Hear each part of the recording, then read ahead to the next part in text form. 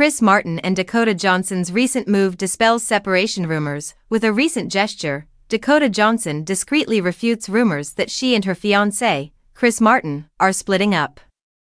Rumors of a breakup with Coldplay's frontman surfaced after the Fifty Shades of Grey star flashed her emerald engagement ring, according to People. According to reports, Johnson, 34, went out on Friday, August 16, in Malibu, California, with her pals Blake Lee and Jeremy Allen White, star of Bear, the Madame Web actress wore bell-bottom jeans and an oversized brown coat casually.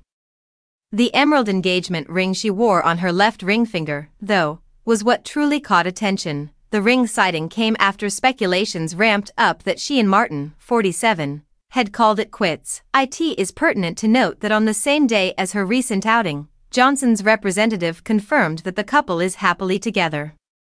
Martin and Johnson were last spotted together in June when she attended the Glastonbury Festival to support the Fix You singer for Coldplay's headlining SET. In 2017, Martin started dating the actresses Melanie Griffith and Don Johnson's daughter years into their romance. In December 2020, Dakota was first spotted donning the emerald ring on her left ring finger. But the confirmation of their engagement came in March 2024.